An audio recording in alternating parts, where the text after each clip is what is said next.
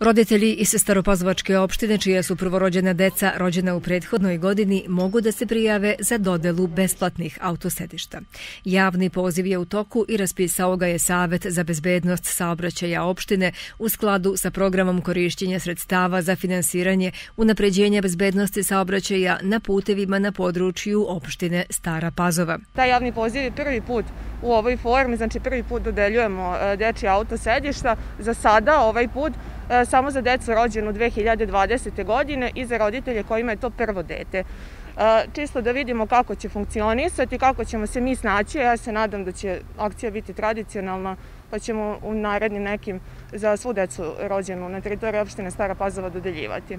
Najvažniji uslov za prijavu jeste da bar jedan od roditelja ima mesto prebivališta na teritoriji opštine Stara Pazova. Ovo su autosedišta kategorije 3 za kilažu od 9 do 36 kg, što znači da deca e, mogu koristiti duže vreme.